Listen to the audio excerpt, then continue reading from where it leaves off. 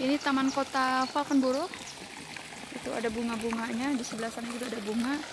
Ini bisa ini ada tangga kalau mau ini kakinya bisa di ke airin tapi airnya kotor. Ini juga masih di ini ya. Itu juga cave goa.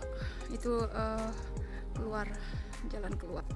Ini uh, kayak gereja tapi saya lihat itu restoran sebelah sananya. Tadi soalnya kita lewat sini. Tuh ini dia restoran. Tuh itu teras restoran. Jadi bukan gereja. Diju udah dijual apa gimana nggak tahu nggak tahu ceritanya. Soalnya saya bukan orang sini.